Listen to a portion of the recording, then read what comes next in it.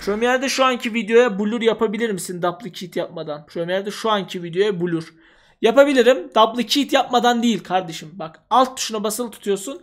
Üste bir tane attın. Sonra alttakini büyütüyorsun. Sonra buna blur atıyorsun. Duplicate yapmadan da vardır tekniği de şu an mesela Gaussian blur atıyorsun. Hop. Anda böyle. Bunu istersen sonradan tekrar küçültebilirsin. Bu kadar. Bunda mesela 15 15 %15 15 küçülttün. Ya blur muhabbeti basit yani kral.